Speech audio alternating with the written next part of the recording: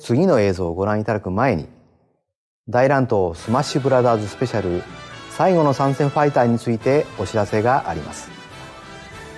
最後の参戦ファイターは10月5日に放送する最後のスペシャル番組にてディレクターの桜井さんより発表します。